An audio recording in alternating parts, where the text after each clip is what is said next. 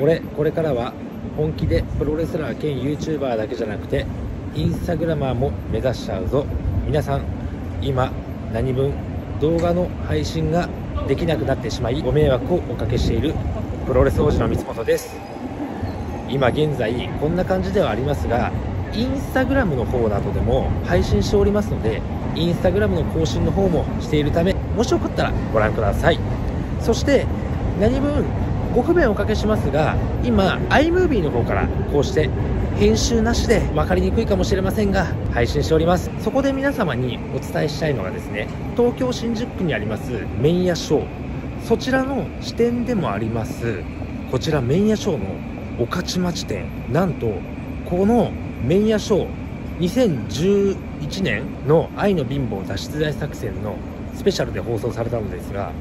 このね麺屋ショーの御徒町店が今月2021年の10月31日をもって閉店することになったんですって。で以前もう4年ぐらい前にアップロードされております。品川の支店も昨年2020年をもって閉店されたみたいで現在生き残っているのは西新宿の麺屋ショー1店舗のみになってしまいます。なので皆さん御徒町店であるこちら麺屋ショーの支店御徒町支店も10月31日までは営業しております。皆さんはもう悔いのないように1回来てみてください。こちら麺屋ショーの御徒町店は東京都台東区上野